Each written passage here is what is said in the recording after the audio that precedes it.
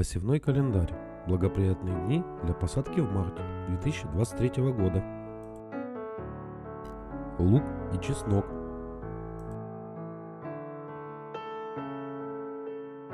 Томаты.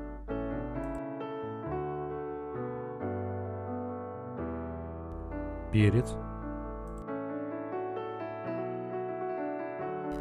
Огурец. Капуста, баклажаны, кабачки, патиссоны и тыква, картофель,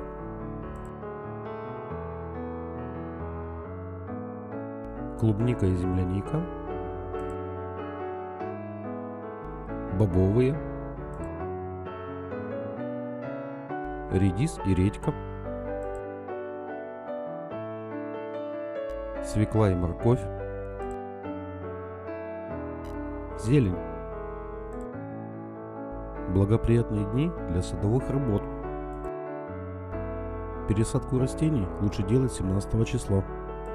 Прополку 25 и 26.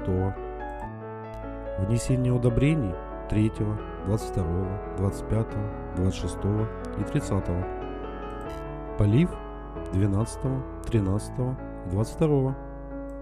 Обрезкой стоит заниматься 12, 13, 15, 16 и 23.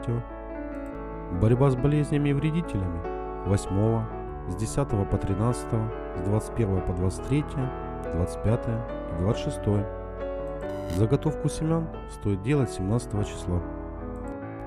Работы у корневой системы 25 и 26. Подписывайтесь на канал, ставьте лайки, чтобы узнать много нового.